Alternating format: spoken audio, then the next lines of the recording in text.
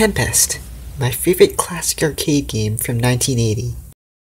Unfortunately, this game was meant to be played with a spinning knob. Buttons don't work. You do need to be fast, yet precise enough to shoot all those enemies. Sliding a mouse around kinda works, but doesn't give you the same experience. I wondered, what if I could reinvent the classic Atari paddle controller by sticking a knob to an optical mouse? And it looks like it works pretty well. You can certainly buy your own paddle controller or build one for an Arduino, but this 3D printed attachment will keep things cheap and simple using stuff that I already have.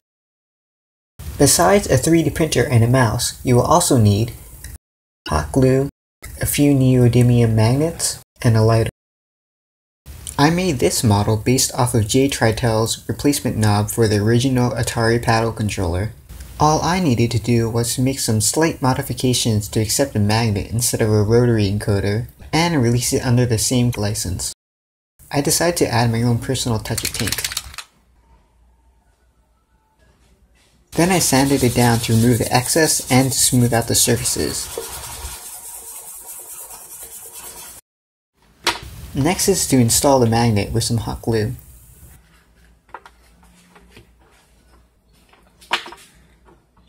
Give it a spin to test.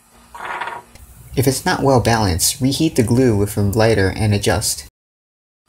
Now to install the magnets inside the mouse. There should be just enough space under the circuit board to fit your magnets. Otherwise, you'll need to find some smaller ones. I already glued in two magnets, so I just need to add two more. You will need four magnets in total, one directly above, below, left, and right of the lens. That way, you can pick any of the four ways to control the mouse.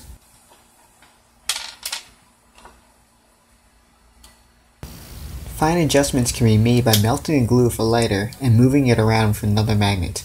Just be extra careful not to melt any of the plastic. Now to reassemble this modified mouse. Tuck in this cable, Put the cover back on, tighten the screw, and blast off.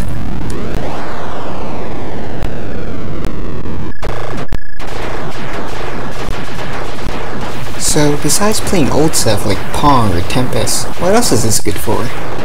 There are a few modern games that still use rotary encoders, like driving or racing simulators.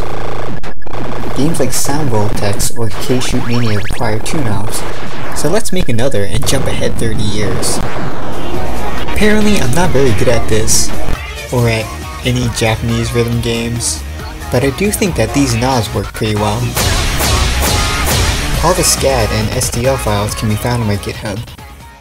Just download, print, install the magnets, and have fun.